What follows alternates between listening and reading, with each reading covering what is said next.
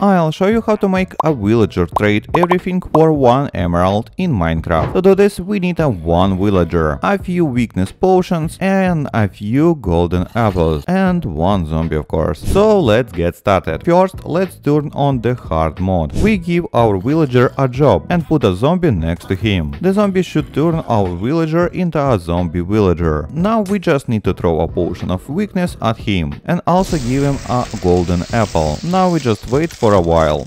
A few moments later. As you can see, he became a villager again, and his prices have really gone down. Now you need to repeat this until the cost of his goods becomes minimal. Thank you for watching and goodbye.